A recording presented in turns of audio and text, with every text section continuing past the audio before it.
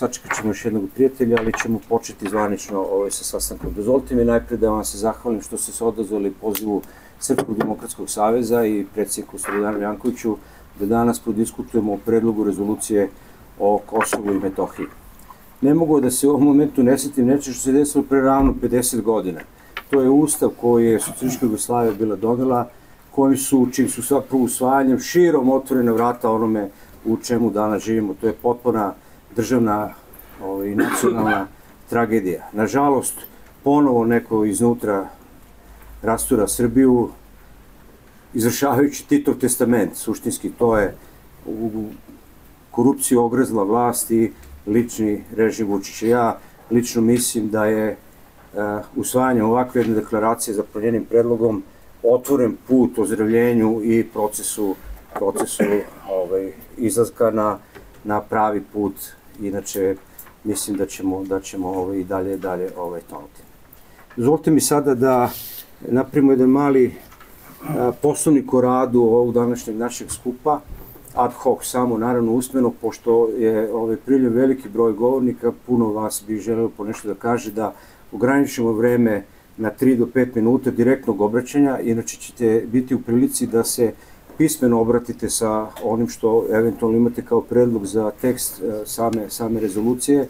Ove, na kraju ćemo reći taj mail. E, komisija koju će e, činiti dr. Janković, dr. Đorđević, dr. Isak Davidov, će se pozabaviti svakim od tih predloga, sročiti, promeniti ono što je ovaj, neophodno i onda ćemo se ovaj, na kraju izjasniti ovaj, o tome. E, to je otprilike ono što je bilo neophodno za ovaj rad. Sačekat ćemo još profesora Đikića, on ima jedan važan izveštaj ovaj, sa Kosove Metohije, ali će se on obrati, ja mislim da mi ovaj, možemo da počnemo sa radom. Reč sada dajem predsjedniku SDS-a, dr. Jankoviću. Hvala. Dame i gospodo, dragi prijatelji, prvo srećan vam praznik, Svete petke i dobrodošli. Hvala što ste se odazvali pozivu ne samo Srpskog demokratskog saveza, nego i Srpskog nacionalnog foruma, organizacije Srba sa Kosova i Metohije iz Gračanice. I upravo će i gospodin profesor Aleksandar Đikić i pričati i o, ispred te organizacije i podneti izveštaj o trenutnoj situaciji u našoj južnoj pokrajini. O, pričati o sadašnjem trenutku u Srbiji e, i u svetu, manje više pratimo svi, znamo šta se dešava. E, nedavno e, sa prijateljima razgovarao sam o situaciji u kojoj se nalazimo i koja je stalno teška i čini mi se i sve gora i podsjetilo me čitanje Živka Topalovića, čoveka koga je, poslao general Dragoljub Draže Mihajlović 1944. godine u Italiju da zastupa interese jugoslovenske vojske otačbini i pokreta koji on predvodio i da, da pokuša da okupi Srbe i institucije jugoslovenske tada u rasute od Kajera do Londona i šire. I tada se, kao i mnogo puta u našoj istoriji, pokazalo da, nažalost, i e, mnogi ugledni ljudi koji su zaista ostavili neizbrisiv trag i pečat u našoj istoriji, ovaj, nisu imali sluha i nemaju e, sluha da zaista u teškim okolnostima prijonu zajedno na posao sa drugima. Dakle, tada na njegove pozive, konkretno Slobodan Jovanović, ali i mnogi drugi, zadržavaju pravo da oni samostalno ipak ovaj, deluju, a u načelu će podržati. Dakle, ne želim nikoga da osudim, kao što sam rekao, u pitanju su zaista izuzetno zaslužni ljudi za našu istoriju za naš ovaj, narod, ali uh, i ta epizoda kao i mnoge druge, mislim, najčešće se sećamo uh, situacije pred dolazak Turaka, možemo da pričamo o političkoj situaciji pred izbijanje drugog svetskog rata i tako dalje, pratila nas je ta nesloga. S druge strane, kad god smo bili složni, i isto tako u teškim trenucima, carinski rat, prvi svetski rat, prvi srpski ustanak i tako dalje, mi smo pobeđivali. i ta sloga je uvek bila ovaj, e, zadojena zavetom, zavetom od Svetoga Save, potvrđenim na Kosovu, polju i kasnije, naravno, kroz prvi srpski ustanak. Dakle, želim da kažem samo kratko da da nam je u ovim teškim okolnostima zaista treba da zakopamo svoje sujete, svi uh, je imamo manje ili više, ali uh, ono što je najpreče sada to je zaista op opstanak, borba za opstanak, očuvanje srpstva, srpskih ovaj, zemalja, stalno to treba da imamo na umu, a Kosovo i Metohije kao ovaj, bisera, kao ovaj, zaista jednog duhovnog i duševnog srca naših zemalja.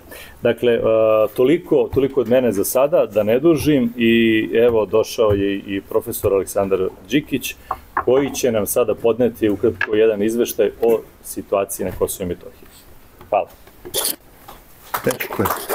Teško je podeti kratak izveštaj o situaciji na Kosovo i Metohiji, ali svakako ću poštovati vaše vreme ovaj, da bismo što više mogli danas da uradimo. Ja se proizvinjam što malo kasnim, krenuo sam sa Zlatibora jutros pa sa kolegom Glišićem smo nekako se snašli i tako. Dakle, pomaže Bog i sreća vam praznik. Bog ti pomože. Uh, ovima koji slave danas posebno, na mnogo je ljeta. Pre svega, zahvaljujem se organizatoru ovog našeg skupa, Srpskom demokratskom savezu i pre svega Slobi Jankoviću, koji su uložili napor da nas okupe ovde i koliko vidim ovako u ovih par minuta okupili su jedno dobro, dobro društvo.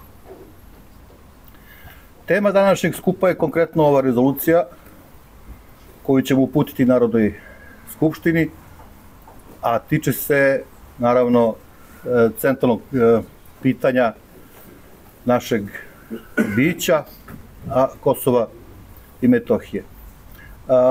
Ja ne bih želeo da govorim nešto što čujete na ovaj ili onaj način svaki dan. Ja samo imam nekoliko, nekoliko tačaka, tačnije 4-5, ove koje bih e, podvukao jer se ne e, ne eksploatišu tako često e, u javnosti. Verovatno će ovi drugi učesnici govoriti i, i neke druge stvari, prvo, o čemu bih, e, što bih hteo da, da e, vama kažem, jer znam da ćete, da, da ćete vi to razumeti, je što, prvo što mi se dopalo kod ovog organizovanja ovog skupa, je što je organizator e, sazvao skup i, i, i najavio je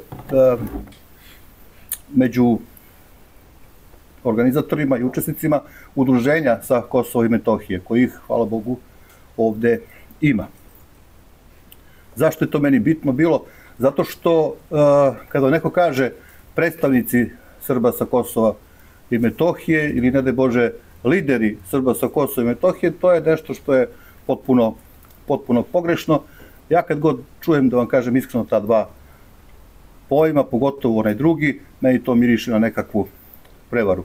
Dakle, svi mi ovde prisutni smo predstavnici Srba sa Kosova i Metohije. Niko ovde nije danas došao, a da nije zabrinut, duboko zabrinut za sudbinu Srba, a naravno i za sudbinu naše države, da se radi o jednom centralnom državnom i nacionalnom pitanju. Nažalost, ne stojimo baš tako dobro na tom bojnom polju.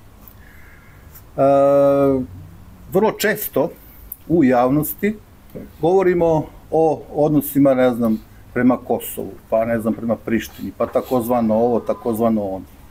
E, vrlo često, redovno, u stvari zaboravljamo da je da Kosovo nije problem koji se pojavio ni od kuda i od juče. Da je to jedan projekat koji je, ja mislim, 150, 160 godina ovaj, vrlo, vrlo aktualno, to je projekat Velike Albanije. Dakle, e, problem Kosova koji trenutno imamo je nešto što je, što je što se mora posmatrati u uh, jednom širem kontekstu, odnosno u kontekstu što bi ja ovo da kažem Albanije koja trenutno se prostire, nažalost, na ovaj način e, od Krfa do Pančićevog vrha. Dakle, ne možemo posmatrati, ako u današnje vreme imamo, ne znam, zajedničke sednice vlade Kosova i vlade Albanije redovno, ja mislim jednom mesečno se održavaju, onda ne treba da mi e, zatvaramo oči i stavljamo glavu u pesak da mi kao to ne vidimo. Mi to moramo da posmatramo na taj način, jer je to tako. Kad se to može, to je jedan, jedan politički problem i to je, e, tako se on i odvija na terenu, počeo od NATO baza, ne samo Bonstila, nego i baza po Albaniji, na, na, na forsiranja recimo aerodroma u Tirani kao centralnog aerodroma Zapadnog Balkana, pa ne znam, Luke Drač i tako dalje, tako dalje. Dakle, tu mi imamo ozbiljan problem, ja ne mogu sada da elaboriram u detalje, ali ću samo, kažem, podcrtati nešto što može, što treba da nas osveži, što treba da nas potakne na, na razmišljanje. E, treća jedna teza koja se kroz u našoj javnosti provodi je mm, lansira je da, ne znam, svi se vadimo na Albina Kurtija. Pa Albin Kurtija uradi ovo, pa je uradi ono. E, to je takođe pogrešno. Nažalost, tako je. Kosovo je za ovih 25 godina, nažalost, uspostavilo dosta toga, dosta sistema koji funkcionišu, koji funkcionišu kao državni sistemi. Nažalost, to je tako. Albin Kurti je samo, samo predsednik te njihove vlade. Dakle, mi treba da se zapitamo zašto smo mi dozvolili da Kosovo ima baš sve te razvijene sisteme. Zašto smo dozvolili da ima sve, bukvalno od energetike i telekomunikacije pa do vojske. Dakle, to je centralno pitanje. Dakle, to, je ono, to je sve sprovedeno na osnovu nekakvih sistema koji su uspostavljeni, a na koje smo mi, nažalost, čutali. Kad kažem mi, mislim na ljude koji su bili kroz poslednjih 20-25 godina odgovorni za vođenje ove zemlje. Dakle, nažalost, ja moram da konstatujem da, da Kosovo ima vrlo ozbiljnu policiju, vrlo ozbiljnu uh, uh, podršku sa svih strana, uh, uključujući sinoć, ako je neko gledao sinoćnu uh, konferenciju za novinare Ursule, von der Leyen iz Prištine, bit mnogo toga jasnije. Uh, četvrta stvar koju bih podvukao je što su Srbi trenutno na Kosovu, a pre svega na severu Kosova, jer sever Kosova je funkcionisao uh, sasvim normalno, sasvim uh, pristojno, sve do uh, poslednjih desetak, 12 godina.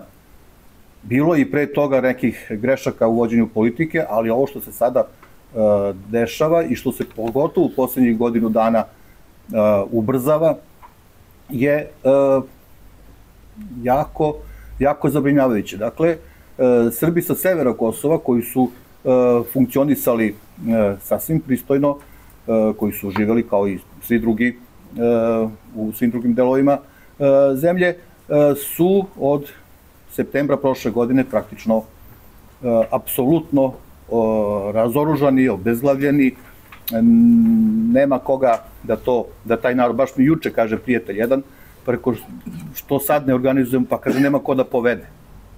Eto, nema ko da povede, je nešto što nas opet dovodi do Uh, upoređenja, upoređenja sa, sa Albancima. Dakle, uh, srpska lista je nestala, jednostavno to su ljudi kojih više na terenu nema, oni su delegirani od strane Beograda kao nekakvi uh, duše brižnici, ili tako, da oni, od njih zavisi i, i, i život i smrt, međutim sad ih nema, a druge alternative ne postoje. Dakle, zaista taj narod nema ko da, da povede. Što nas dovodi na zaključak da e, je to jedna rak rana celokupne naše politike e, prema Kosovo i Metohiji i prema drugim nacionalnim pitanjima, što nacionalno pitanje, pogotovo od najvišeg značaja, e, se rešava partijski. Dakle, nacionalno pitanje se rešavalo partijski i ranije, i u vreme, ne znam, 90-ih i pre toga, a ne kao što se nacionalna pitanja rešavaju, tu imamo primjer Albanaca, što nije bitno ko je na vlasti, bitno je da nacionalno pitanje se, nacionalni program se ispunjava. Dakle, mi moramo nadam se da će ova rezolucija da bude taj prvi neki korak gde ćemo e, to e, partijsko da podredimo nacionalnom, e, jer se ova rezolucija zaista izdiže iznad stranačkog i trebalo bi da bude jedan predlog oko koga bi svi mogli da se slože. Ona se oslanja na dva stuba ovaj, koje imamo, koje su jaki i realni, to su unutrašnje i međunarodno pravo, domaće nacionalno i međunarodno pravo ili Ustav i rezolucija 1244. Dakle, ako bismo sada zdravorazumski zaključivali, nema razloga da u parlamentu ova rezolucija ne bude apsolutno podržana od svih ili skoro svih. Međutim, da budem iskren, E, sudeći po onome kako parlament funkcioniše, kako, kako se ljudi u tom parlamentu e, ponašaju. Ja nisam neki veliki optimista, čak i ako je tema Kosovo, čak i ako je rezolucija e, utemeljena na tome od čega bi svi trebali da se slože, nisam optimista, kažem, ali svakako je ovo veliki korak, ako ništa drugo, barem ćemo videti ko se sa time slaže, ko se ne slaže, ko je za nacionalno jedinstvo, ko je za uh, jedan zreli politički pristup rešavanju tako bitnog nacionalnog pitanja, a ko nije, što bi se rekao da vidimo ko je vera, a ko je nevera.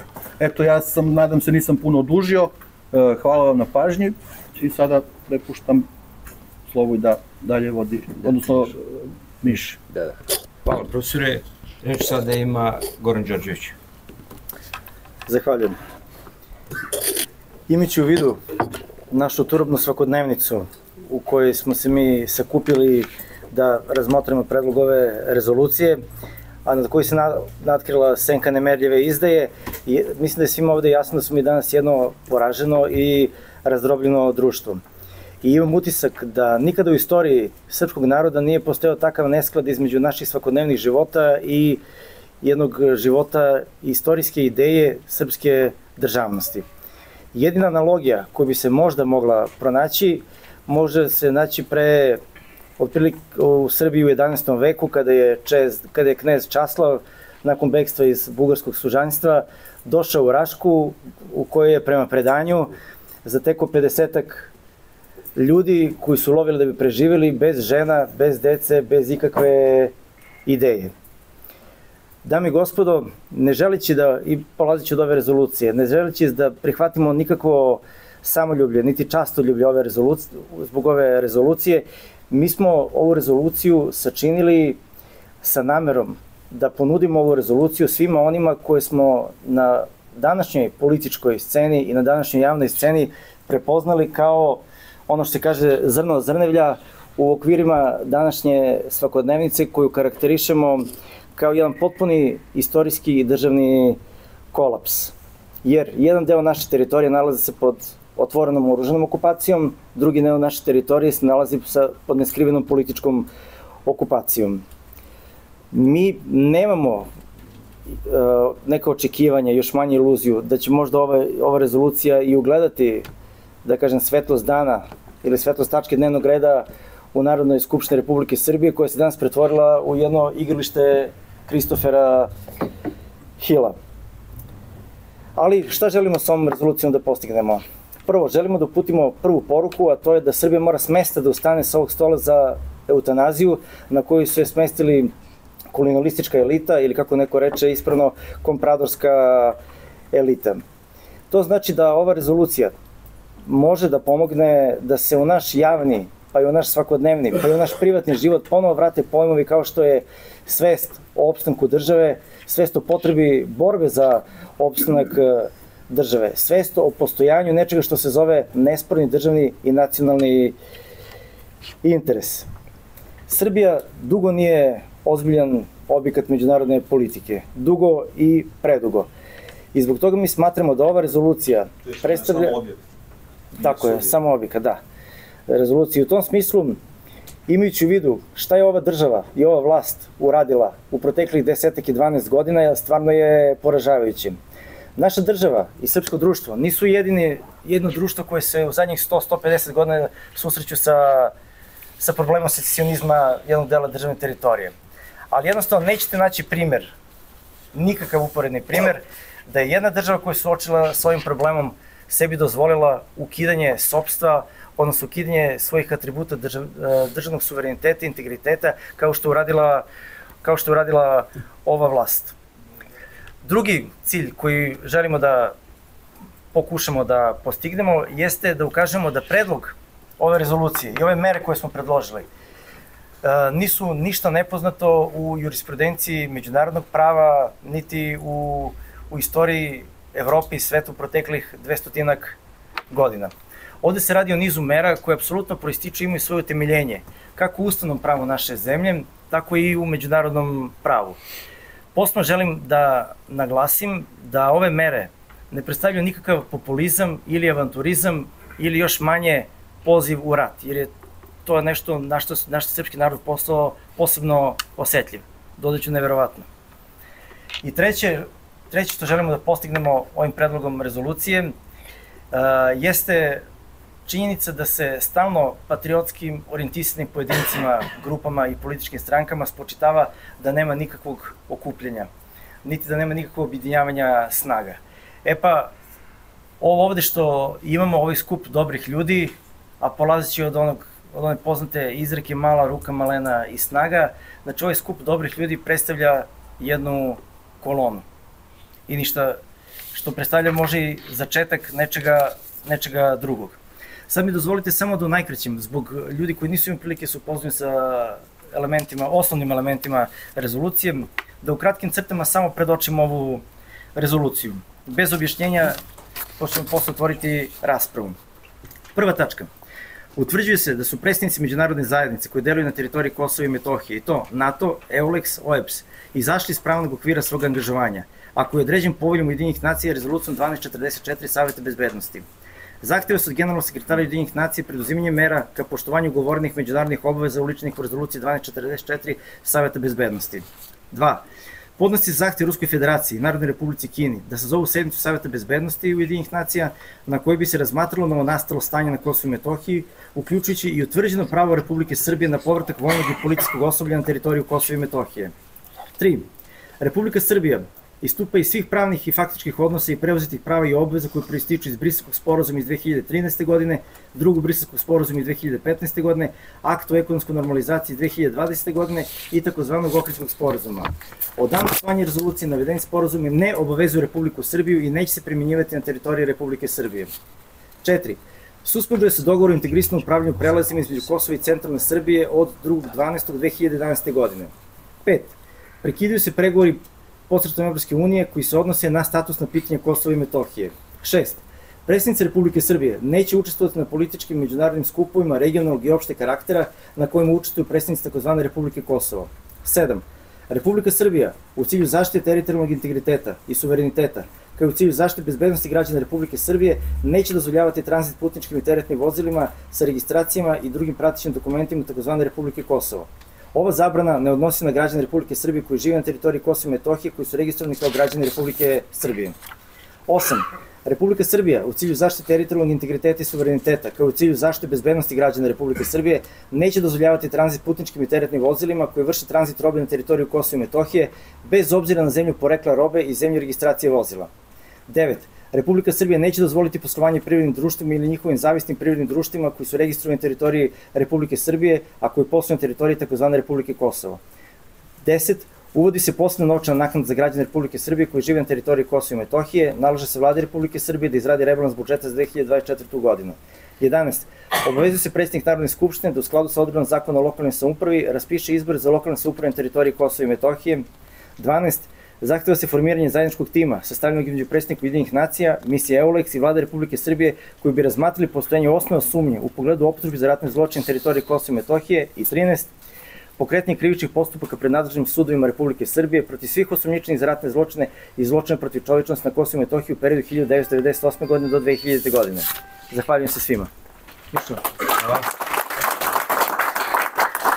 Ja dajem sad jednu malu pauzu, ovde je jedno ovako skromno posluženje, vrlo važno nešto što sam zaboravio da kažem, ceo ovaj skup finansiramo sami od članarine, dakle Nemanjina, Andrićev venac, nema ništa sa... Izvolite. Dragi prijatelji, nastaće da budem što kraći. U uvodu. Još jednu stvar sam propustio, zahvaljujući uh, mesnoj kući Srbin Info, ceo ovaj Dejanu Zlatanoviću, naravno, ceo ovaj tok će snimljeni ove povečer na jednom od kanala ovaj, YouTube. Dajem sada reč uh, profesorki Danijeli Tadić. Molim vas, želim samo da se državamo one satnice, puno se ovaj, naših drugara javilo za reč, pa da ostanemo u nekim okvirima. Hvala. Do pet minuta. Uh, da, do pet minuta. Hoćete vi, profesore? Ne, ne, ne, kad se javio, ne, nisam vidio. B- nešto je bio Ali ranije javi se ove skupljeno, da, ali ako ste raspoloženi Da, ne. i za... Jesam, jesam, ali Evo, Da ne- da odmah, ne odmah i za, i za profesorke Danijele. Ako hoćete zbog mikrofona, možda nije loše da, evo... Ovde je bolje, da, odavde. Miša, Miša, mm. Da, Dragan Stojadinović, Aleksandar Ćorac. Ček, ček, ček, ček, ček, ček, ček. Profesor Koprica. Dragan Stojadinović. Dobar dan svima, ja sam Danijela Tadić i izneću neke stavove pokreta MOBA.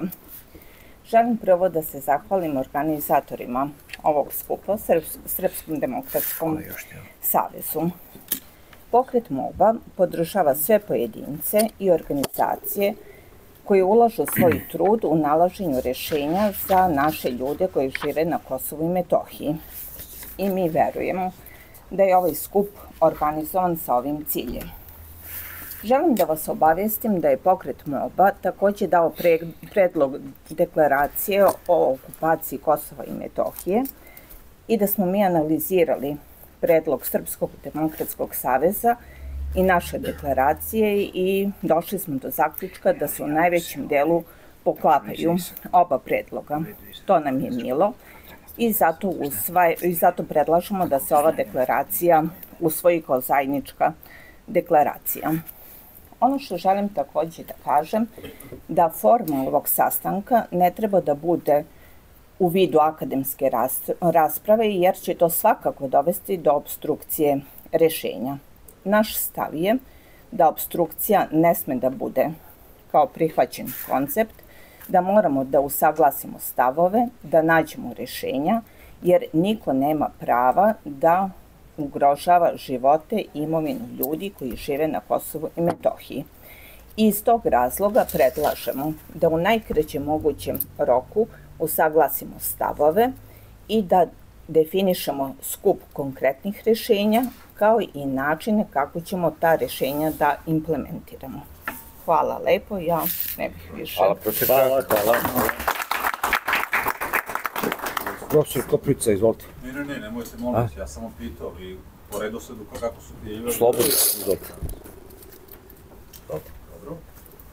E, ako nije problem, ja ću ovdje stati, pošto Nije, ovdje je slabo da, osvetljenje, da, da, ovaj, da, da. ću proći kroz ovaj tekst. Ja ću preskočiti, ovaj, dakle, pokret odborno Kosova i Metohije, ja sam eto potpredsjednik.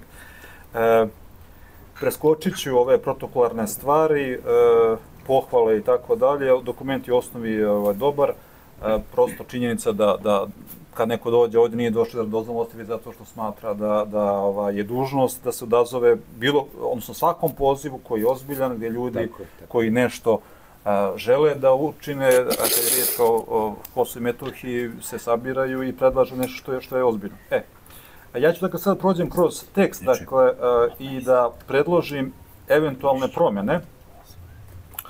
A, tačka 1. Pominju se a, međunarodne organizacije a, koje su koje djeluju na teritoriji Kosova i Metohije, pa se kaže NATO, EULEX, OEPS. A, prvo preskočena civilna misija jednih nacija, pod jedan, pod dva, NATO kao takav nije tamo angažovan i tu je nastala prevara, jer je angažovana misija KFOR-a. I mislim da bi tako, tako trebalo formulisati, dakle, dodati civilnu misiju jednih nacija i umjesto NATO KFOR, a to što NATO obavlja funkciju KFOR-a, to je, to je ozbiljan problem. E, tačka 3, koja čini mi se ključ na ovom a, dokumentu i e, jako je važna i to je nešto što bi trebalo da bude ugovni kamen djelovanja ne samo nas kao nevladih organizacija, nego države. Nažalost, naša država pomaže neprijateljima našim i tu, tu je ključni problem. E, dakle, e, Ohridski sporazum, ja bih umjesto Ohridskog stavio Briselsko-Ohridski, Ohridski, ja da podsjetim samo dao a, uslove primjene a, ovoga sporazuma oh, Briselskog koji je sklopljen, ne i potpisan 2023. godine i a, dodatak ove, ove tačke a, od dana osvajanja rezolucije navedeni sporazumi ne obavezuju Republiku Srbiju i neće se primjenjivati na teritoriji Republike Srbije, ja bih dodao zapeta, uključujući prostor Kosova i Metohije, da ne bude nesporazuma, iako naravno mi svi polazimo od toga, ali mislim da to nije, nije bilo zgoreg o ovome. Tačka 5. Prekidaju se pregovori posredstvom EU koji se odnose na statusna pitanja Kosova i Metohije. E, I onda ima obrazloženje koje je potpuno meni ovaj, e, celishodno, ali e, šta, je, šta mi je ovde problematično? Ako mi hoćemo da razvrgnemo odnose sa Europskom unijom koja je pokazala da je blago rečeno pristrasna, odnosno da pomaže e, suverenizovanju Kosova, takozvano Kosova, onda čini mi se da nije dosledno ograničavati buduću eventualnu saradnju sa Eulexom na tehnička a, a isključivati statusna pitanja. Dakle, ako prekidamo saradnju s njim, onda prekidamo saradnju po svim osnovama, a ne da kažemo hoćemo ovaj, o jednim pitanjima da govorimo, o drugima ne. Ovo je sad moje razmišljanje. Tačka 7 do 9, to je čini mi se jako važno i to je do sada nedostajalo u državnoj politici. Uh, ja sam bio jedan od onih koji godinama to priča kako treba udariti po, po ova, ekonomski, po takozvanom Kosovu, da oni to osjete, jeli? E sad, šta je meni ovde sporno? Dakle, nije mi sporna intencija. Tačka 7, da čitamo, čuli ste ovaj, uh, kolega Đorđević je to pročitao. Ono što mi je ovde sporno jeste uh, što mi se čini da ovako predviđene uh, tačke bi djelovale nediskriminatorno na sve građane s teritorije Kosova i Metohije, nezavisno toga da li su odane Republici Srbiji ili ne. Mislim da bi bilo savjetno ovo su pravili pravnici očigledno, mislim da je bilo savjetno uh, potražiti mišljenje ekonomista i dodati nekakve odredbe koji bi dalje precizirali kako bi se razlučilo djelovanje, neću kažem prema Srbima i Albancima, znate, mi ne znamo, mi tamo imamo, imamo a, a, a, Srbe koji kolaboriraju sa Šiptarima i hipotetički možemo prepostaviti da bi mogo se pojavi neki Šiptar koji bi odan ovoj državi ako bi bilo mogućnosti da bude zaštićena glava, što tamo je jako komplikovano. Dakle, mislim da bi to bilo dobro. Od, tačka, od, dakle, od 7 do 9, a, kako bi to tačno izgledalo, ja ne mogu da predlažem, nisam prosto, nisam, ne samo što nisam pravi, nisam ni ekonomista, ali čini mi se da, da, ovaj, da bi tu bilo prostora da, kako da kažem, napašće vas, napašće nas vlasti, odnosno ovi njihovi botovi, koje ne zove analitičare, ako ovako to bude, da kažemo, unblock formulisano, reći će pa vi udarate po našoj narodnoj teritoriji Kosova i Metohije. Tako da mislim da tu ima prostora za preciziranje. I tačka 12 formira, zahteva se formiranje zajedničkog tima sastavljenog između, e, od predstavnika Ujedinih nacija misije EULEX vlada Republike Srbije koja bi razmatrala postojanje osnov, osnov, osnova sumnje u pogledu optužbe za ratne zločine na teritoriji Kosova i Metohije. E, nije mi ovo dosledno sa tačkom 3 Jer mi faktički hoćemo da, da isključimo, odnosno intencija pisa ovoga ovaj, e, dokumenta, nacrta, jeste isključivanje Evropske unije iz, iz ovog pregovaračkog procesa, a vi ovde, kako da kažem, s njima treba nešto da dogovaramo. I još jedna stvar, e, iako ovo može da djeluje kao e, nešto protiv koga bi niko normalno ne bi imao ništa. Ali mislim da nije da konzistentno sa idejom ovog dokumenta. Vi možete postaviti pitanje, a šta je sa nestalim licima? Šta je sa otetom imovima? Šta je sa čitavom nizom stvari koji su nastali usled toga što je neko okupirao teritoriju Kosova i Metohije, uh, uzurpirao suverenost naše države i tako dalje. Prosto mislim da ako je intencija ovog akta da se uh, ukaže da je u toku a, nelegalni legitimni proces suverenizovanja takozvanog Kosova uz a, saučešće navedenih pripadnika takozvane, od predstavnika takozvane međunarodne zajednice, onda čini mi se da ovo a, previše ide u širinu, jer onda kaže može se postaviti pitanje neke druge stvari. Ovo je, mislim, dok, nešto što bi trebalo bude stvar jednog posebnog dokumenta. Ali ovo, kako kažem, ovo negde na nivou mog, mog nekog privatnog razmišljenja, mi se jesmo savjetovali na predsjedništvu oko ovoga, ali nismo uspjeli da, da ovaj, kako da kažemo, da usaglasimo stavove, kako je moja čast rečeno, da, dakle, ovo što govorim, govorim u lično ime, ne govorim u ime, u ime predstavništva, u ime pokreta, ali evo, pošto imamo iskustva već godinama i sa ovakvim dokumentima, onda sam sebi dao slobodu da ovde pred vama podijelim neka svoje razmišljanja sa idejom, naravno, ključna stvar, dokument je intencija dokumenta i e, je odlična, najveći dio onoga što ovde stoji, što me tiče, je, je potpuno nesporan.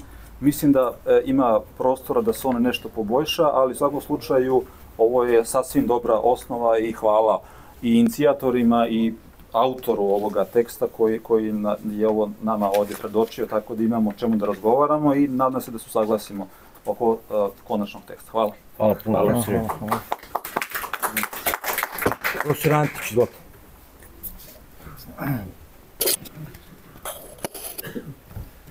Braćo i sestre, dobar dan. Napredni klub, udruženje čiji sam ja član i ja potpuno podržavam ovu rezoluciju i drago nam je što evo u velikom broju smo ovde i mi i naše udruženja i što ćemo je podržati. E, ne bih teo da ulazim u razmatranje teksta, nekako čini mi se da je to trebalo ranije da, da zajedno razmatramo, ovako vi ste došli sa predlogom i mi ga tako i podržavamo, mada ovo što profesor Koprovica kaže stoji, naravno. E sad ja bih rekao u ovih mojih tri minuta dve stvari. Prvo, to je pitanje u kojoj meri treba menjati sadašnju politiku i da li je ovo što u rezoluciji stoji dovoljno. Dakle, ja moram da pitam da li mi možemo u ovom geopolitičkom okruženju da postignemo neki kompromis, sporazum sa velikim silama i da zadržimo suverenitet. Ja mislim da ne možemo. Takođe čini mi se da je zapadni svet, pre svega Sjedinje američke države, jeli, Britanija, Nemačka, koji uličavaju NATO na našoj teritoriji, oni nas ne vide u budućnosti kao faktori, kao aktera. To se vidi po celom nizu njihovog delovanja i sve što bi nam u sporazumu dali, kao recimo Republiku Srpsku, oni kasnije pokušavaju da e, obesmisle i da ukinu. I ja sam siguran da ako se nastavi ovo opadanje njihovo koje je ubrzano tokom proteklih 20 godina, da će oni postepeno težiti tome da ukinu Srbiju kao državu. To vidimo po njihovom odnosu prema Čirilici, prema našoj kulturi, prema prošlosti. Prema tome, mi moramo da se pitamo, čuo sam ovde, pre 2012. bile su greške, nije, ovi problemi nisu nastali pre 2012. godine. To je tačno, naravno, većinu onoga što smo imali na Kosovu dala je sadašnja vlast, ali takođe činjenica da mi sad možemo da izgubimo mnogo vremena govoreći o Miloševiću, o Tadiću, o Koštunici, o, o, o Vučiću, e, o Đinđiću, međutim izgleda da mi idemo već e, vekovima pogrešnim putem.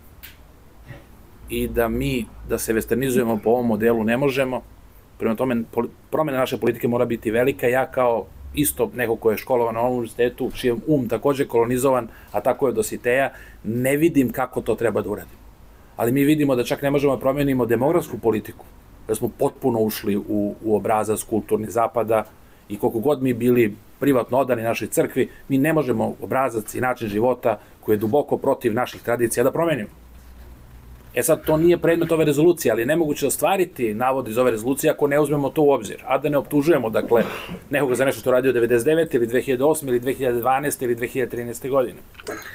E, dakle, moramo i o tome da razmišljamo. Promena politike koja je ovakva podrazumeva rat sa Amerikom.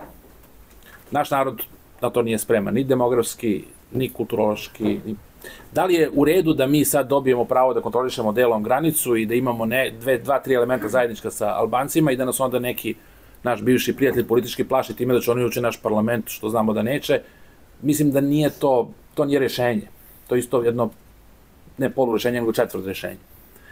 E, Kad smo već kod toga, drugo pitanje koje sam teo da otvorim i tu potrošiću samo minut, to je pitanje koji je naš plan, sad kažem naš, svi smo zajedno u ovome, kako ćemo da politički operacionalizujemo ovu rezoluciju. Dakle, mi ćemo nju sad objaviti, zahvaljujući Srbin Info, će ona biti objavljena jednom delu našeg naroda. Mi znamo da ovaj, ovaj poslednji ostatak naše demokratske slobode, a to su mrežni mediji, pokriva samo 300.000 ljudi, za to vreme 2 miliona gleda jeli, farmu i sluša šta im kaže Željko Mitrović na Pinku. Tako da to je jedno pitanje. Šta sad kad bi imali recimo 20 poslanika u parlamentu, šta bi uradili? Zašto nismo uspeli da dođemo do parlamentarnih stranaka naših, da kažem naših, ima ih bar dve, jeli, koje podržavaju ovo što mi danas govorimo, da oni to pokrenu. E, vi znate da ima bar 30 rezolucija od kojih su neke bile jednako patriotske, jednako dobre kao i ova, koje nisu, nažalost, nikada postale predmet izvršenja. Imamo čak i zakon o uređenju Kosova i Metohije, o kantonizaciji, koji nikad nije provođen. Čak ne nekoga je donao, nije ga provodio. Tako da mislim da bi trebalo o tome da razmislimo. Inače, ja podržavam, mi podržavamo, evo naša delegacija ovde, e, ove, ovu rezoluciju smatramo da je dobrim korakom. Mislimo da moramo da promenimo pristup, jer inače će nas uvek i kad dođemo do nekih glasova i nekih poslanika podeliti i uvek će ti koji uđu u parlament gledati da ospore masovnost srpskoj desnici, što mislim da je loše, jer ovde je većina naroda za desnicu u ovom trenutku. Upravo zato što osjeća ono što mi osjećamo, a to je da smo ugroženi. Ali očigledno kad ljudi dođu na, na, do vlasti, onda smatraju da ta ugroženost ne treba da se rešava, zato što će ugroziti njihove položaje do kojih su jedva došli. Hvala vam. Hvala. Hvala. Reč sad ima profesor Ćorac. Srpski nacionalni forum. Srpski nacionalni forum. Dobar dan svima, pomaže Bog i srećan vam praznik današnji.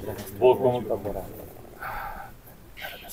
Ja, najpre da se izvinim svim ovako na jednu neformalnost, ja sam njima pred desetak dana sam imao intervenciju jednu hirušku, pa a, ne mogu da budem obučen kako bi bilo prikladno na leđima sam i izvinjam se i časlo jer sam pobegao tamo od njega, ne od e, što sam pobegao od njega, nego moram da se naslonim tako da, me, da, da, da se ne naslanjam na leđa, da, nego bočno. A, zahvalio bi se a, svima vama koji ste uzeli učešće organizaciji ove i delimično bi samo prokomentarisao ove uvodne stavove.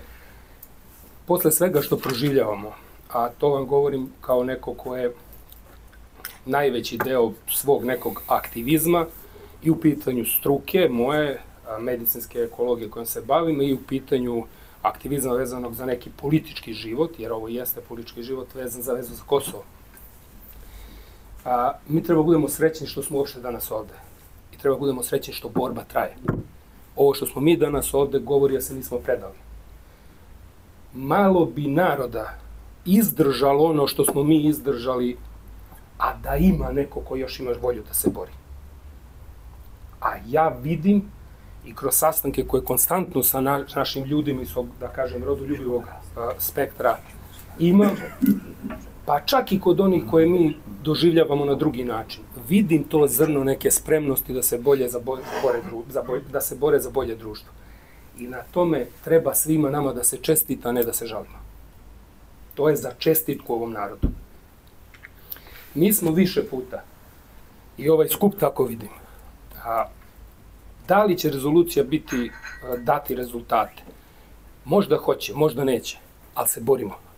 Ona traje nešto će da da, dala je ovaj današnji skup. Mi smo nekoliko tačaka definisali, ali ne bi da zloupotrebim vaše gostoprijemstvo ovaj skup. Ne, ne, pa samo izvolite. Ne, ne, ne bi da širim.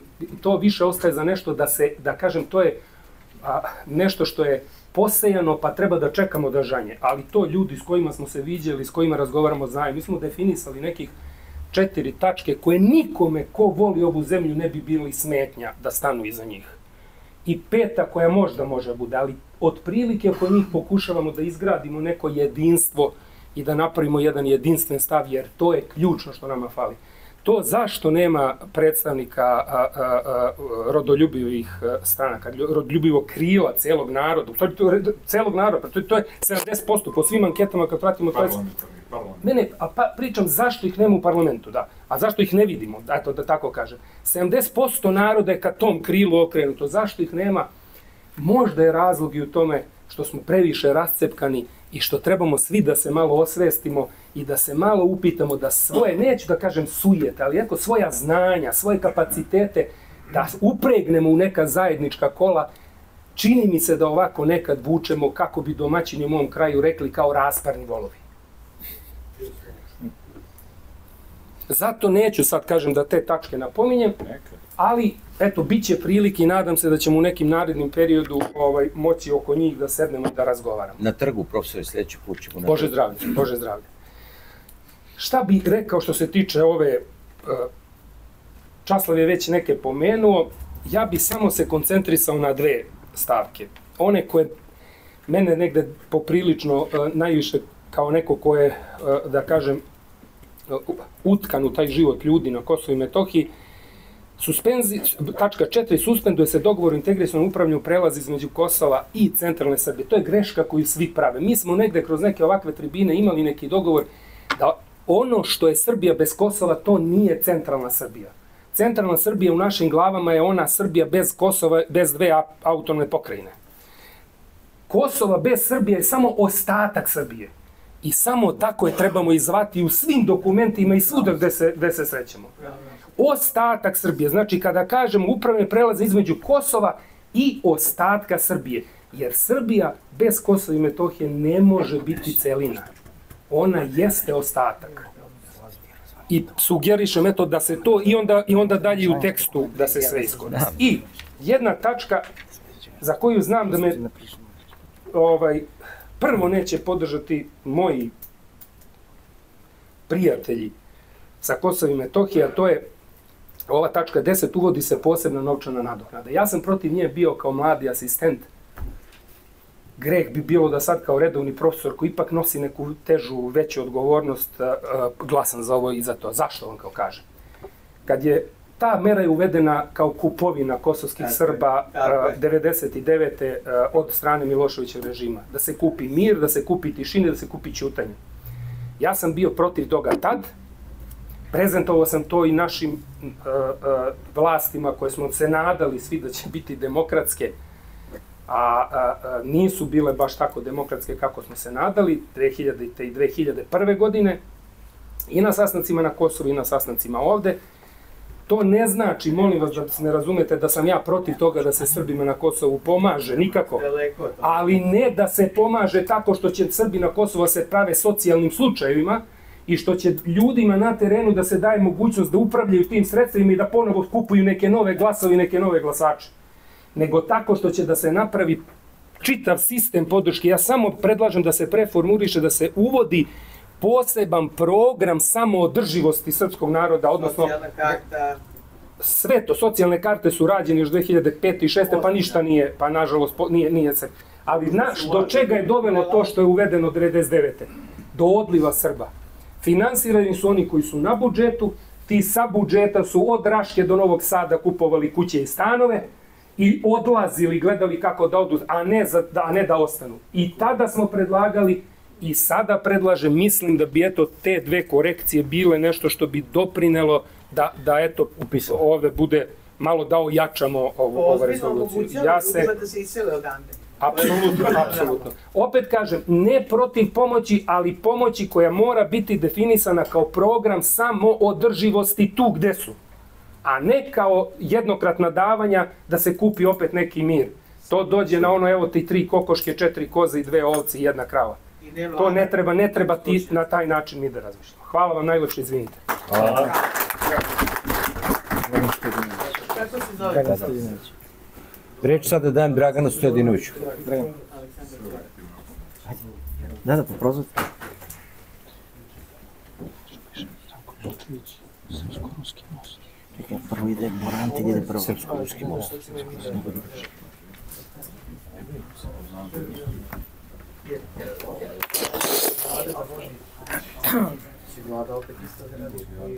Pre svega želim da se zahvalim organizatorima na pozivu ali činjenicu da su napravili jedan zaista dobar predlog rezolucije. Nažalost, problem Republike Srbije nije nesposobnost naših vlasti da napiše sobstvenu ozbiljnu rezoluciju. Problem je, što su, je to što su oni po ovom pitanju na drugoj strani u odnosu na nas. Dakle, njihov cilj, cilj spoljne politike Republike Srbije, ako ćemo biti iskreni, nije očuvanje Kosova i Metohije u okviru Srbije. Cilj je anesteziranje građana koji bi po njihovom planu vremenom trebali da prihvate neminovnost gubitka Kosova i Metohije. A, ideja naravno je sjajna da ova inicijativa uđe u Republičku skupštinu, znamo da je to malo verovatno. Drugi nivo, drugi pokušaj može da bude pokušaj da ona uđe u politički diskurs koji mi u Srbiji imamo, ali to će biti vrlo teško mi u Srbiji imamo dva seta medija. Jedan režimski koji neće dozvoliti, pošto će ovakve rezolucije pokazati da režim radi protiv interesa ovaj, sobstvene države, onaj drugi prozapadni koji će takođe biti za nezavisnost Kosova i sa te strane ćemo i teško moći da formiramo a, neki politički diskurs koji će biti malo širi. A, ono što možemo da pokušamo da uradimo jeste da iskoristimo emociju kako bismo ljude približili ovoj rezoluciji. Ima tu puno tačaka koje su zanimljive. Ja bih pomenuo 11. koja je meni lično zanimljiva. A, meni je najteža slika bila kad sam gledao Srbe kako na silu izlaze na izbore, lokalne izbore nezavisno Kosova. Hajde da kažemo ljudima, ok, hajde da Srbija odluči. Da li će izaći na ovaj lokalne izbore po zakonima nezavisnog Kosova, govorim izbore na Kosovo, lokalne izbore, ili će izaći na lokalne izbore po zakonima Republike Srbije. I misleće, ako narod počne da pominje tu tematiku, misleće vremeno da se to primi u narodu i da će shvatiti kolika je greška bio onomad izlaz na ovaj, lokalne izbore po zakonima Republike Kosovo i koliko je neophodno takvu jednu stvar promeniti. Naravno, korišćenje ove rezolucije u, u medijima, a, njen ulazak u politički diskurs bi trebao da obori rating režima. A to nas dovodi do jednog vrlo nezgodnog pitanja. Gde bi trebalo preliti taj rating? Da li mi recimo koji smo ovde, objektivno, koji smo svi za očuvanje i Metohije u okviru Republike Srbije, imamo neku ozbiljnu političku opciju koja je spremna da artikuliše naše stavove i da nas predstavlja na pravi način u parlamentu, ako do parlamenta dođe. Ja nisam siguran. Imam još puno toga da kažem, ali ipak da ne ovaj, uzapiram previše vremena. Hvala. Hvala. Hvala. Riječ sada dajem Bori Antelju, Narodna sloga. Narodna sloga. Mogu ja odavde? Može, može. Može, Boro, može. Samo da preusmerimo. Ne, ne,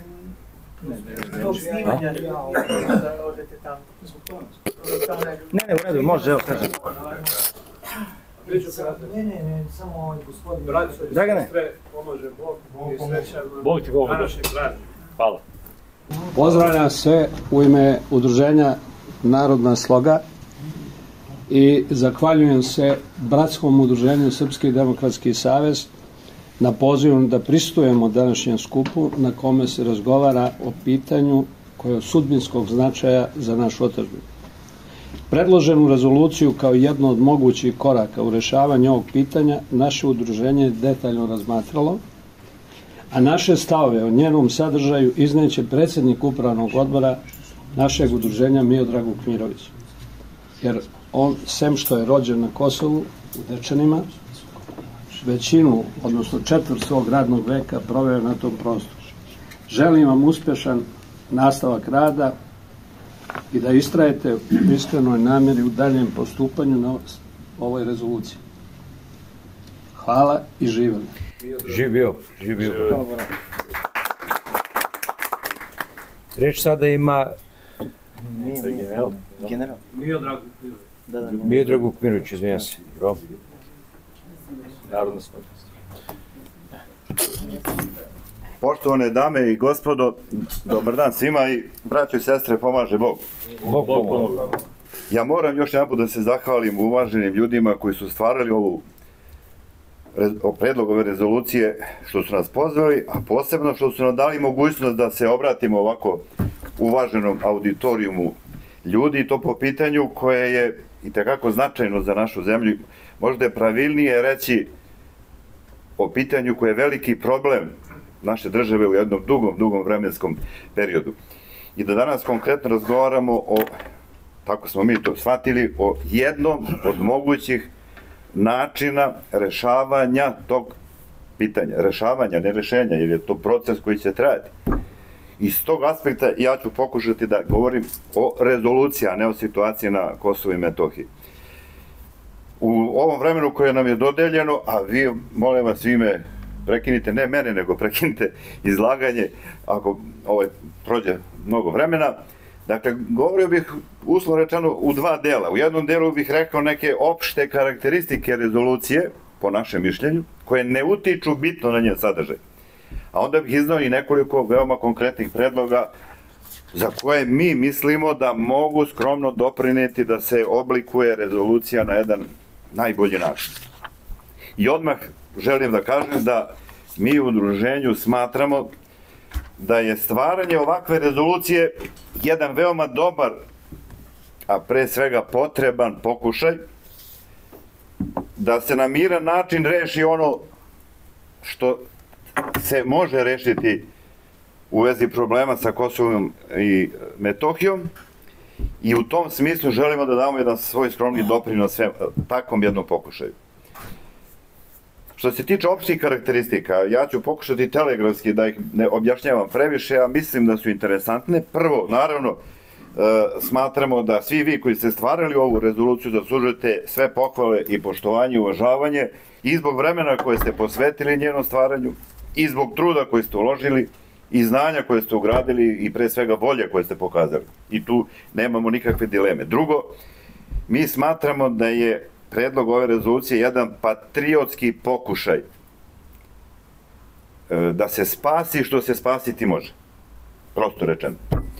E sad je pitanje šta da spašavamo? Da li ono što smo imali na Kosovo i Metohiji do 2012. godine ili ovo što imamo danas? Verovatno svi mislimo na ovo prvo. Dakle, ako je to ta situacija, a verovatno jeste, onda po našem mišljenju se sa ovom rezolucijom dosta zakasnilo. Kad to kažem, mislim na brojne i unutrašnje i spoljašnje faktore koji su se pojavili u tom vremenu 2012. godine. Dakle, ne mislim da ste vi zakasnili lično, nego generalno kad pričamo o tome. Ali postoji jedna izreka koja kaže ako rob celoga života ili stalno čeka da mu neko drugi skine lance i okove, on slobodu dočekati neće, dočekat će samo novog gospodara i zato da će Bog da i sa ovom rezolucijom nismo potpuno zakasnili. Drugo, kada pogledate, odnosno kad imate u vidu praktično e, ovaj sadržaj da se ona e, upućuje, kako smo mi to razumeli, u proceduru Skupštini Narodne Republike Srbije, je tako? Da, to treba Odnosno Narodnoj Skupštini Republike Srbije. Za, da, kada se usvoji. E sa tog aspekta, dakle, uvažavajući to, mi prihvatamo i razumemo da u njoj nema ni jedne jedine reči. Znači, prihvatamo i razumemo da u njoj nema ni jedne jedine reči o brojnim, teškim, katastrofalnim i namerama i greškama aktualne vlasti u pristupu rešavanja ovoga problema. Pa bilo bi zaista nelogično da šaljemo tamo rezoluciju koju bi okitili sa svim tim epitetima za koje svi verovatno mislimo da treba da, da, da, da, da damo. Ali, ako ide u tu proceduru, onda je ovo za nas prihvatljivo i što bi rekli, daj Bože, da i kad je podnakom navoda diplomatski još oblikujete i uokvirite da, i, da i takva prođe, odnosno dođe i prođe ovaj skupštinsku proceduru, ali mnogi su već rekli, pitanje je da li, da li to može tako. Četvrta stvar, uh, u nekoliko sadržaja koji su ovde navedeni od ovih 13 članova, uh, može se uočiti jedan odnos potpune dominacije Srbije nad jednim svojim delom koji se zove Kosovo i Metohija. I to bi bilo potpuno normalno i to bi bilo potpuno u redu. Da su ti odnosi zasnovani na uređenoj pravnoj regulativi koja za sve važi i koju svi poštuju, je tako? Međutim, znamo da to nije tako. Da, da, da je praktično taj problem prisutan odavno. I ovo moram da kažem, ja to istorijski gledano zaista dobro pratim i neću da licitirati koliko godina ili vekova to traje. Ali ono što mogu sigurno da kažem, a to je da koliko god to trajao, taj problem Srbije sa Kosovom i Metohijom, on se uvek pokušavao rešiti na jedan jedini način, a to je silom. I jedna i druga strana. Bez uvažavanja one druge strane, bez mogućnosti ili bez želje da se nađe neko drugo rešenje, neki drugi model, i uvek su na našu veliku žalost rezultati bili isti. Sila kao odgovor na silu i vi posledice toga svi dobro vidite. Da ne dužim mnogo oko toga. Sledeća stvar, svi članovi ovde koji su navedeni kao predlog polaze od jedne pretpostavke da Srbija, što se tiče Kosova i Metohije, se o svemu i o svemu odlučuje. I to je dobro, ali nažalost nije tako. U realnosti nije tako. Šta to može? To se može, može se desiti da to dovede u pitanje kako će se to primeniti zaista na terenu. Ali, svi ste vi to rekli, treba pokušati i od toga ne treba odu- odustajati, pa ćemo videti šta će se desiti. Ali to prosto treba imati u vidu. Još jednu stvar da, da kažemo od tih opštih karakteristika, to je vi koji ste stvarali ovu rezoluciju, verovatno ste razmišljali šta će se desiti ukoliko ona ne prođe skupštinsku proceduru. Realno je to očekivati. Najgore bi po našem mišljenju bilo da završi u adaktima. Ako ne prođe, treba je doraditi sadržajno u smislu i ofanzivnijeg pristupa i konkretnih navođenja pro, ovaj, odgovornih i onda to medijski tek onda medijski popularisati i, i ovaj upoznati najveći što veći broj građana sa takvom rezolucijom. Na kraju e, sve u svemu mi mislimo da ovakva rezolucija može biti samo koristi našem narodu na Kosovo i Metohiji. Ako ništa drugo, onda da barem vidi da ima ljudi koji ozbiljno razmišljaju o njihovim sudbinama, kako reče jedan uvaženi gospodin, da borba traje, i da pokušavamo naći, da dođemo do načina rešavanja ovog problema. I upravo kažem rešavanja, jer to je proces koji traje. Imam li vremena da predložim nekako, nekoliko konkretnih predloga? Može, može. Kratko. Kratko. Dakle, mi se slažemo sa neko je tu govorio o o ovom prvom delu, prvi ovaj član.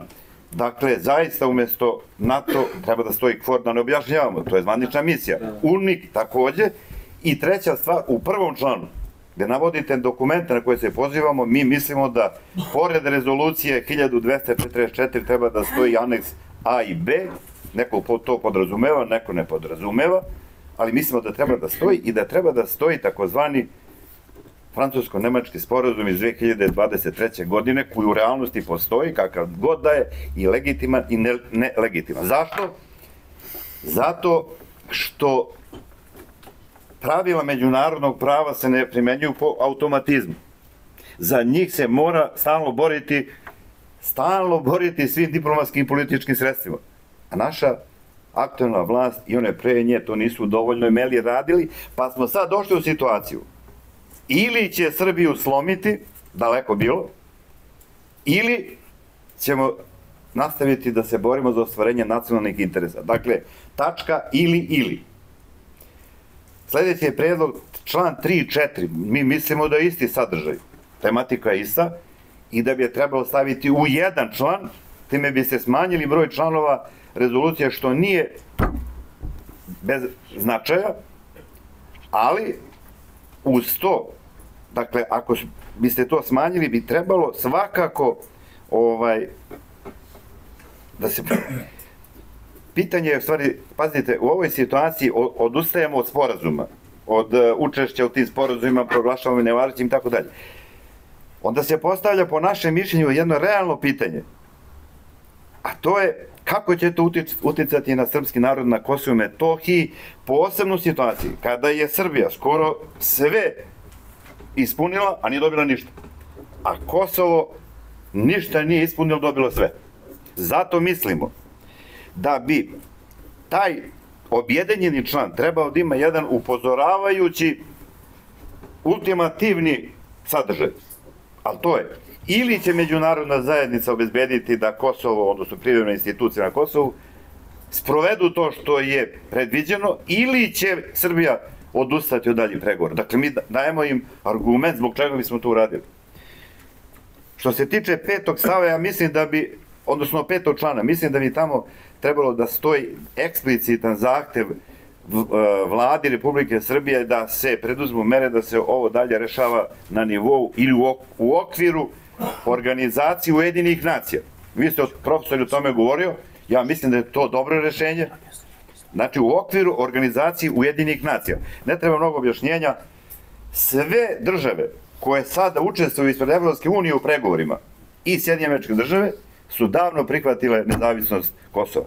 Pa onda se postavlja pitanje, pa s kim mi da razgovaramo, o čemu da razgovaramo ako je ovo sve jasno. Zato mislimo da je ovo mnogo bolje rešenje. E, ovaj, dobro, onda ću vam dostaviti ovo preko maila. Hvala vam na pažnju. Hvala.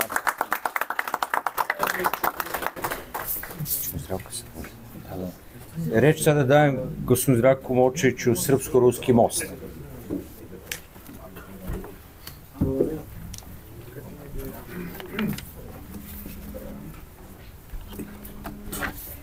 Ja dolazim iz Srbije koji su politični, politički moćnici nazvali Republika Srpska. Prema tome, hoću samo ovo na početku da kažem, mi nikad narod srpski u takozvanoj BiH nikad nije izašao iz Srbije. Da vas posjetim, ova, mi smo na početku musmani i Hrvati su imali referendum ovaj, da izađu iz Jugoslavije, a mi smo imali plebiscit da ostanemo u okviru Jugoslavije, to je Srbije i Crne Gore sa Srbije.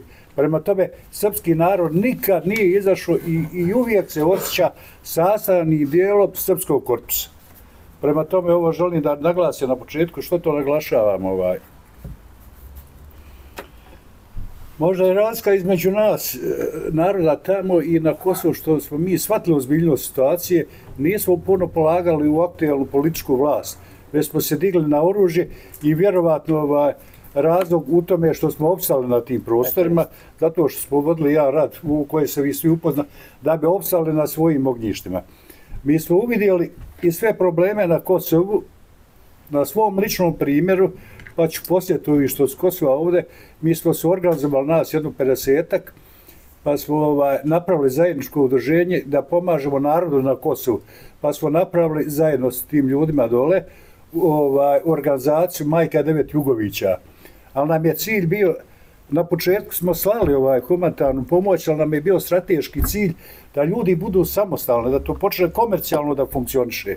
Što i jeste i Srbija treba na taj način iz budžeta da izdvaja sredstva da ovaj stvori samoodrživo srpskog naroda kroz privredne aktivnosti. E, mi moramo biti pažljivi kada definišemo sve jedan član ili rezoluciju iz nekoliko razloga. Prvo moramo imati u vidu globalna kretanja, uticaj Amerike. Amerika je sve više histerična, zato što gubi primat u svijetu, nije više ovaj, apsolutno ovaj, sila broj 1, tu su Rusija, Kina, BRICS i tako da. I kao ovaj, e, oni zaista tako funkcionišu, oni razmišljaju, ako nema Amerike, nema napretka civilizacije i tako da. E, zato Amerika postaje ovaj, veoma opasna i stalno će u raznim zonama ovaj, svijeta otvarati nova žarišta da bi oni ovaj kanđijali i pravili se ovaj. E, shodno tome, ovaj, e tako i na Kosovu se isto dešava, Amerika drži, čak je američka administracija nedavno izjavila, eto mi smo dali Evropskoj uniji ovaj, da oni pregovaraju ovaj, e, sa Srbijom i da se stabilizuje to stanje. Međutim, ko reče prije mene, ovaj, gospodin, što mi imamo pregovarati s Evropskom unijom kad sve države priznale nezavisnost Kosova? I prema tome odmah da kaže, svi pregovori, već je ovaj, dva govornika su rekli, svi razgovori Srbije isključivo u okvirima Ujedinjenih nacija. Kakav Eulex? Ovdje piše, izvinjam se, kako treba radna grupa pa Eulex. Pa znate šta je Eulex? To je misija Evropske unije sastavljena od policijskih i administrativnih radnika sa isključivim zadatkom jačanje nezavisnosti Kosova. Šta mi imamo s njima pregovarati? Prema tome, ja sam izvršno protiv toga. Uošte, Eulex treba ispisati, ovaj, zato su otrebali našu policiju i tako dalje i, dobili Eulex i tako dalje. Prema tome, ova, u svim dokumentima inače treba izbaciti Eulex i sve druge organe, isključivo ova, e, držati se ovaj, u, u, u jedinih nacija. Dalje, ja bio, ja bi bio oštriji malo u, u nekim stvarima. I ovo je dovoljno već sam Močeviću, ali šalim se, šalim Evo, se. oba, bio bi daleko oštri, ova, samo tehničko pitanje, jedno, član 2, ova, kaže se, ova, zahtijevamo od Rusije i Kine, ne možemo od njih zahtijevati da pitanje stavi u savjet, na savjet bez vjet, već kaže, molimo, zamolit ćemo ovaj Kinu Kinu i Rusiju da ovo pitanje stavi. Ovaj. Dalje, e, e, što bi ja bio oštri? Pošto oni kao mi molimo da uđemo mi u Evropsku uniju, a oni jedva čekaju da nas ubace, da možemo da i NATO pakt tako. Ja bio kategoričan prema Evropskoj uniji. Ili ćete poništiti sve vaše odluke i drža se rezolucije 1, 2, 4, 4, jer mi nikad nećemo ući u Evropsku uniju i usmjerćemo naše aktivnosti ka BRICS-u. U stvari, intimno i volim da uđemo u BRICS ova, i, Evro, i ova Evroazijski sav. Ja bi tu bio kategoričan. Dalje, kad sam spomenuo ovo izdvajanje, ne pomoć, što je rekao, to je već da Srbija iz budžeta, ko što je nekad Jugoslavija izdvajala za nerazvijene krajeve i tako dalje, mi iz budžeta Srbije, ja predlažem da se izdvoje sredstva za samo održivi opstanak kroz privredne aktivnosti. Ja to tako definisao. Uh, dalje, poz, uh, ja bi ovaj, na kraju rekao politička vlast da je kriva za, za ovo stanje Srbije. Pored toga, pored velikih pritisaka Amerike i drugih zemalja, ali isključivo politička vlast. I postavlja se pitanje, mene čudi zaista posle toliko godina naš narod da se nije utrijeznio. I, ali vidim na ovoj zadnjih izborima kako je glaso, ali nadam se ko je rekao, mi treba svi da se okrupnimo, meni je drago što je Slobo mene pozvao i za mene stoji još sigurno jedno 50 organizacija sigurno u, u, u regionu uh, Srbije, Republike Srpske koji je razmišljao na ovaj na da jedan uh, jedan vel, ne protest, jedan kongres, nazivamo kao god, u Sava Svetu gde će nas biti par iljada ova, i svi i regiona i Srbije i, Republike Srpske. Prema tome, i na kraju, kad budete predlagali radnu grupu, piše negde u članu, predlažem da im odmah kažemo da radnu grupu za sasve treba da čini iz Skupštine tri, iz opozicije dva, dva člana, iz nevladnog sektora dva, iz Kosova dva. Da to bude da to bude sastav radne grupe, da ne bude samo, da i mi odmah predložimo, da ne bude samo ovaj da Skupština ovaj, poslovno ovaj, određuje ko će biti šta. Nema više vremena, ostalo ću pismenoj formi. Vidim da mi je vrijeme curu. Hvala. Hvala. Hvala. Hvala.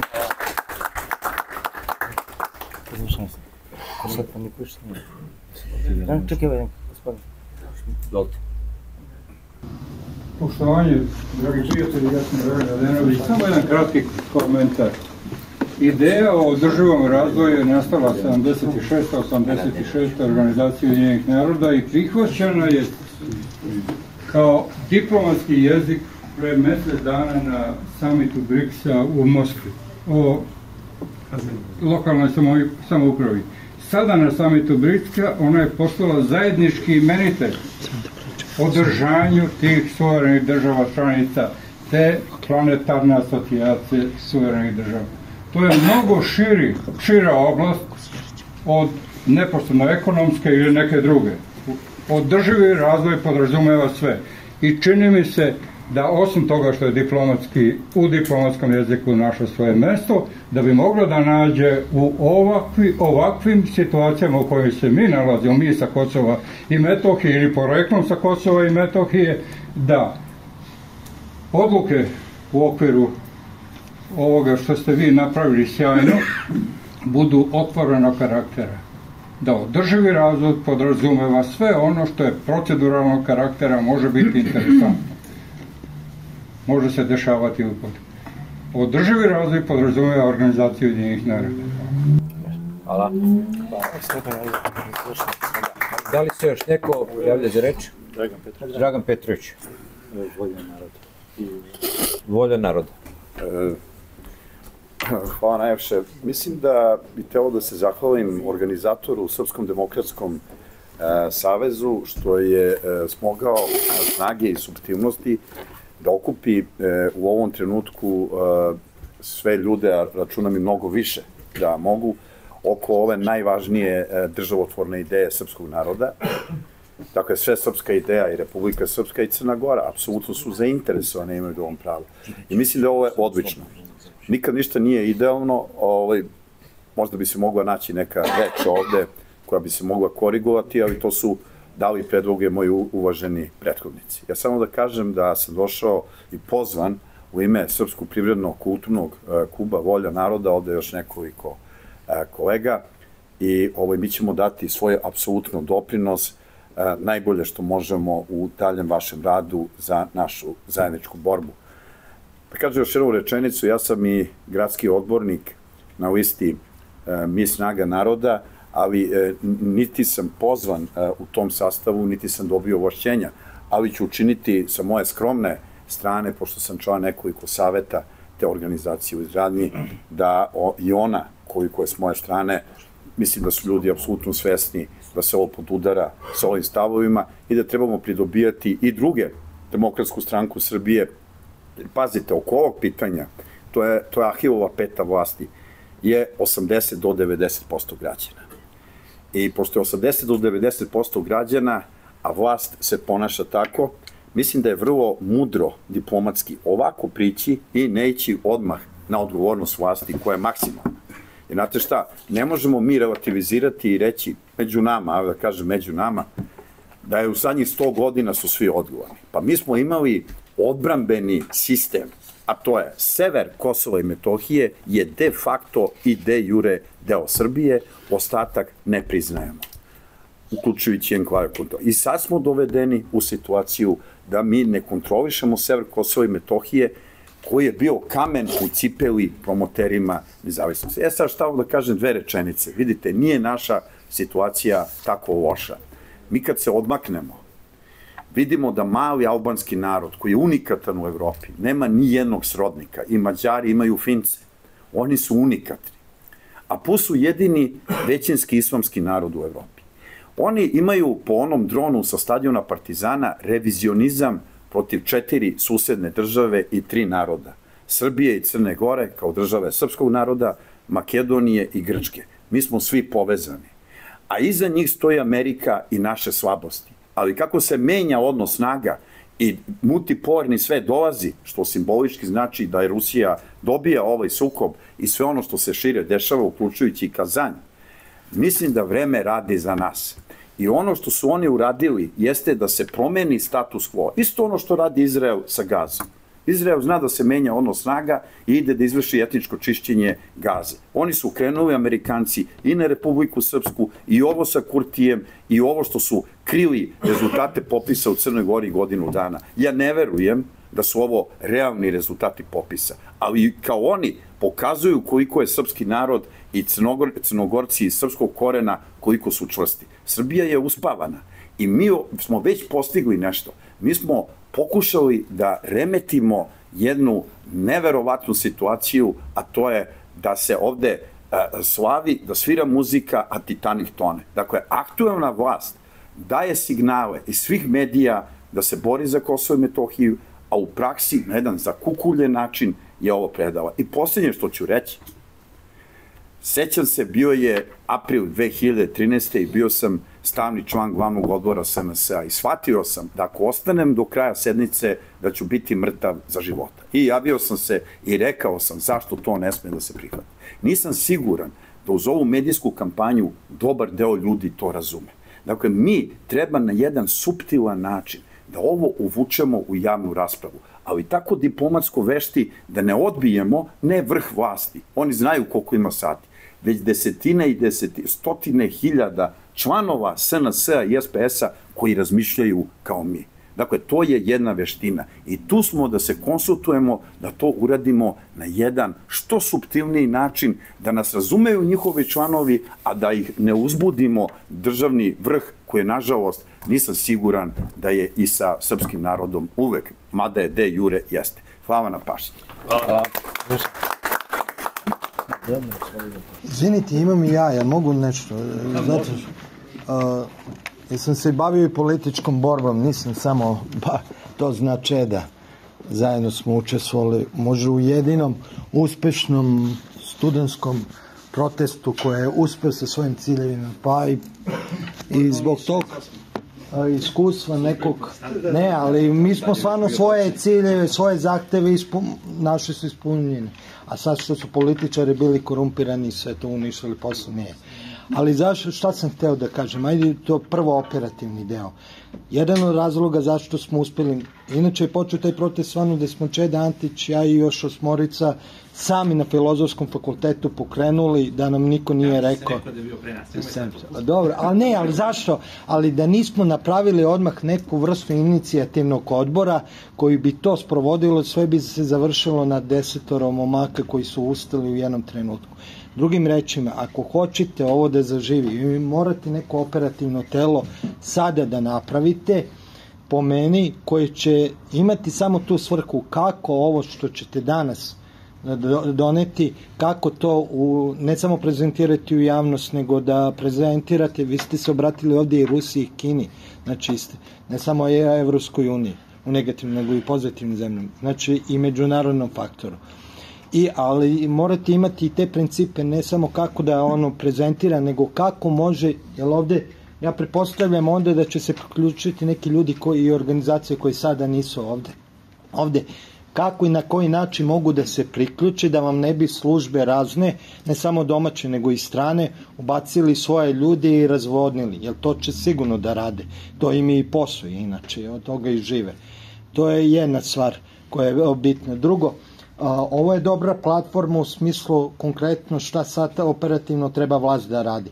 Ali mi moramo, i ajde i o tome da se razmišlja u buduće, da napravimo neku rezoluciju i platformu gde ćemo staviti pet tačaka koji srpska strana kaže da su njihovi ciljevi, zahtevi za građane Kosova i Metohije, i, a, ne samo za srpski narod, i da bi mogli i pred domaćim i međunarodnom javnosti, kao što Kurti kaže, ja to hoću, tako reći, Veliku Albaniju, mo, jer naša vlast neće da uradi, opozicija nekako kenkava da to uradi, mi se ponašamo kao Slobodan Milošević 90-ih, jedan dan je bio Jugosloven, jedan dan komunista, jedan dan je Srbina, četvrti dan nije ni znao šta je. I onda nisu znali ljudi s, s kim šta pregovaraju. Zato je jako bitno da se i to uradi i, i na kraju hoću se nadovezati opet na Čedo Antića, jer ja isto kao istoričar imam taj, sam i utisak imao kad sam čitao vašu uh, rezoluciju, to je jeste objava rata, tako reći, Zapadu i ono što Zapad rade. Ja mislim da je, smo mi neka vrsta jevreja u smislu ok, moramo da živimo sa svešću da su oko nas neprijatelji. Hteli, ne hteli, to i jeste. Tako da države razne koje postoje, one i postoje zato što su gradili svoj identitet protiv nas. Mi moramo tako da se ponašamo, odnosno da smo u apsolutnom ratu protiv sviju i da moramo da pobedimo samostalni taj rat. Ne slažem se samo sa Čedom Antićem, ja mislim, baš zato što je o, smo u takvom ratu, sva sredstva su nam dozvoljene i mi moramo tako da se ponašamo i mi moramo da imamo svest odmah da je ovo i ovako naše ponašanje, ne zato što mi hoćemo, je objava rata i Briselu i Njurku i bilo svim i da će biti u dogledno vreme i da se shodno time ponašamo i shodno time da idemo sa takvom rezolucijom, bezobrazno ako hoćete sve, ali moramo da imamo svest da smo mi sad otprilike kao kad je pala despotovina, još imamo crku, tada i nismo imali crku, znači ne idemo od nule nego od minusa da bismo došli do nule i sve ostalo i da moramo, ako hoćete da uspete, ovo mora da bude nukleus neke te borbe. Ako ne, da imate, morate da imate sve su velikim ciljevima. Ako imate sve su malom i operativnom cilju, uh, propaše. Samo ogroman veliki cilj može da vas dovede do uh,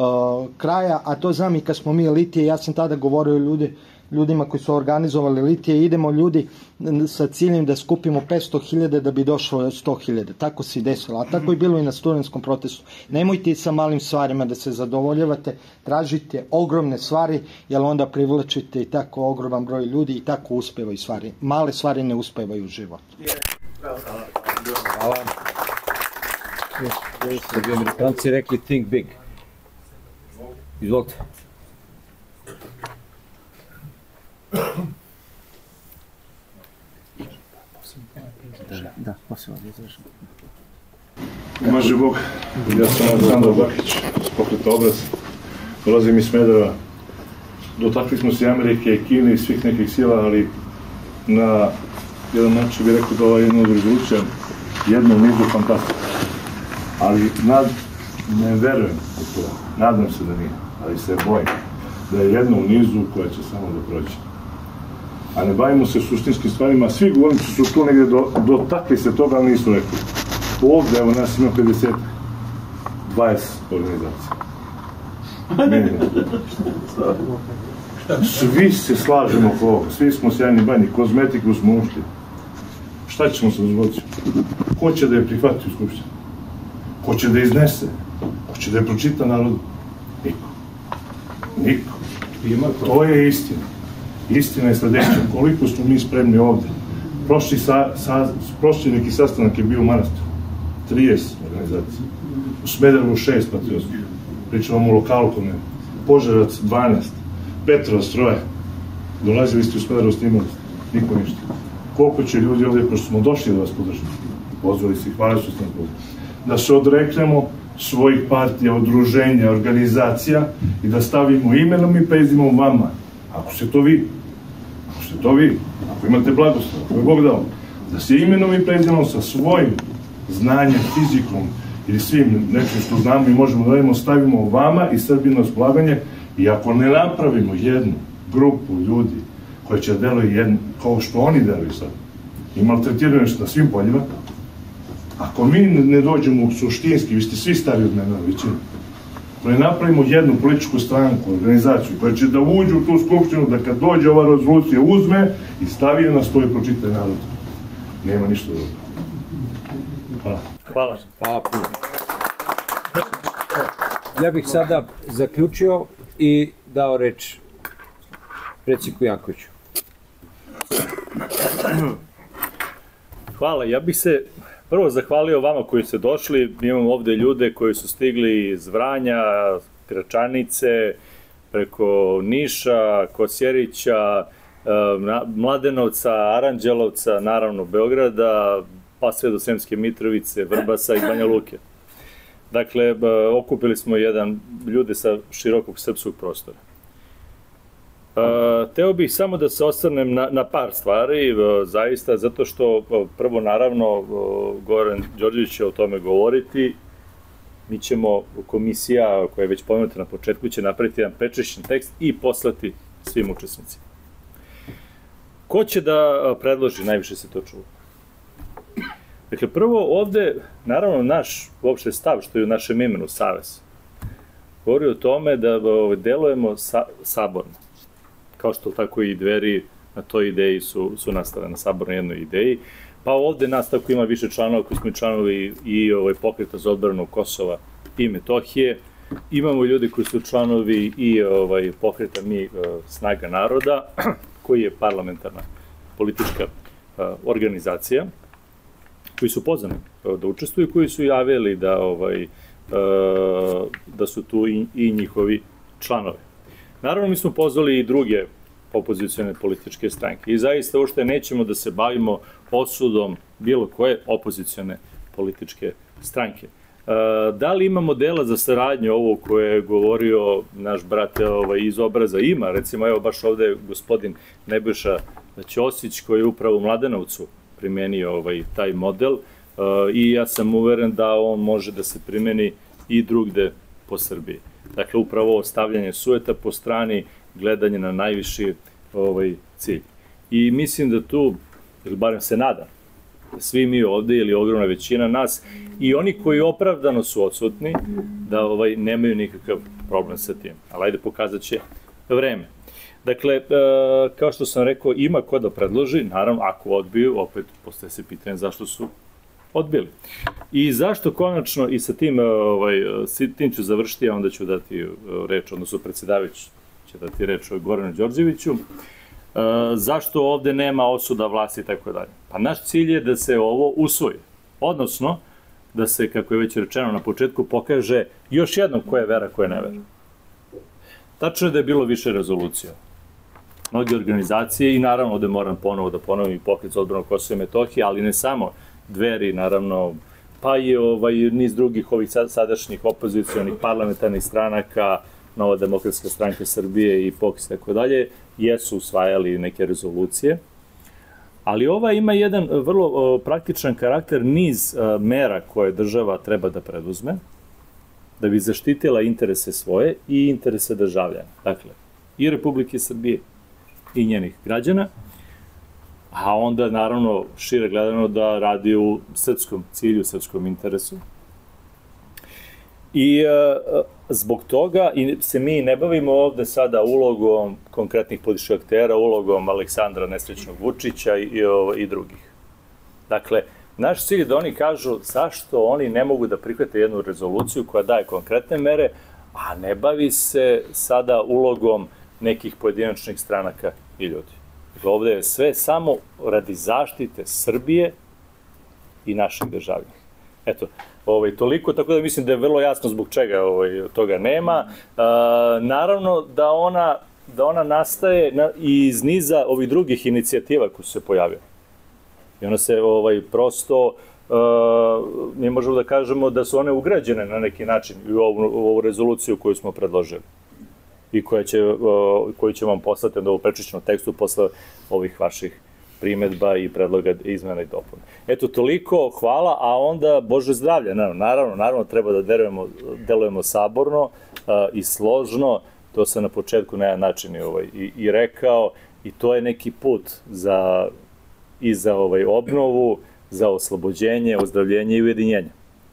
Hvala. Hvala. Reč ima Goran Đorđević. Pa ništa, evo ovako, uh, u zahvalnost svima koji su došli, kao što je gospodin Perović već rekao, znači komisija koja je radila na ovoj rezoluciji, a na bazi danas prispelih predloga, kritika, izmena, dopuna, koje možete dostaviti na mail Srpskog demokratskog saveza, mi ćemo u nekom, nekom narednom periodu, vrlo kratkom, sačiniti svakako prečišćen tekst ove rezolucije koje ćemo opet poslati svim učesnicima koji su bili pozvani, posle na kojima su došli, a i onim koji se nisu odazvali uh, pozivu. Ono što bih želeo kao neki načelan utisak da, uh, da iznesem, a to je, odnosno on to predstavlja jedno apostrofiranje jedne suštinske činjenice. Znači, predlog rezolucije predstavlja jedan koncentrat državnih mera koje država mora da preduzme. Poseban naglasak jeste da ove mere ne sadržu sebi niti avanturizam, niti bilo kakav populizam, jer srljenje u istoriju nikada nije bila ni odlika ozbiljnih ljudi, ozbiljnih političara. Hipotetički, ako bi se ova rezolucija i usvojila, ukoliko bi se čak i primenila, dometi ove rezolucije i primen ove rezolucije omogućili su, omogućili bi ponovo pokretanje pregovaračkih procesa na različitim nivoima. Odnosno se Srbija da se ponovo a vrati, a ne rat, koji nas tako često plaše. Sledeća tema je, a ko nas to plaši ratom? Ko nas to plaši ratom? Još jedna, još jedna, još jedna stvar. Znači, svakako da svaka državna politika koja se vodi, koja je u cilju očuvanja državne teritorije, pa ako hoćete u krajnjem ideje slobode, podrazumeva plaćanje neke ekonomske cene. Danas ekonomsku cenu plaća i Rusija, i Ukrajina, i Izrael, i Palestina. I hoću da kažem, to su i filozofi davno još u 19. veku zaključili, da se e, oslobođenje države, ujedinjenje države ne može posmatrati isključivo kroz taj ekonomski segment. Ali u tom smislu, znači, opet se vraćam na načalnu tezu, znači ovde nema avanturizma niti populizma. Jednostavno skup mera koji će Srbiji omogućiti da se ponovo vrati ne kao objekat, već kao aktivan subjekat. Zahvaljujem se svima. Dragi prijatelji, ovim završavamo sastanak. Hvala vam. Pomože Bog, braći i sestri, svi Srbi magde bili u svetu i svi ljudi dobre volje. Vi se nalazite na kanalima Srbin Info i Centar. Ovom prilikom želim da vas informišem da je YouTube omogućio pretplatu na našim kanalima. Time ostvarujete neke od pogodnosti. Takođe, ako želite da pomognete rad naše redakcije, možete uplatiti donacije preko platforme Patreon ili direktno na naš devizni ili dinarski račun firme. Instrukcije za plaćanje možete naći u opisu svakog našeg videa.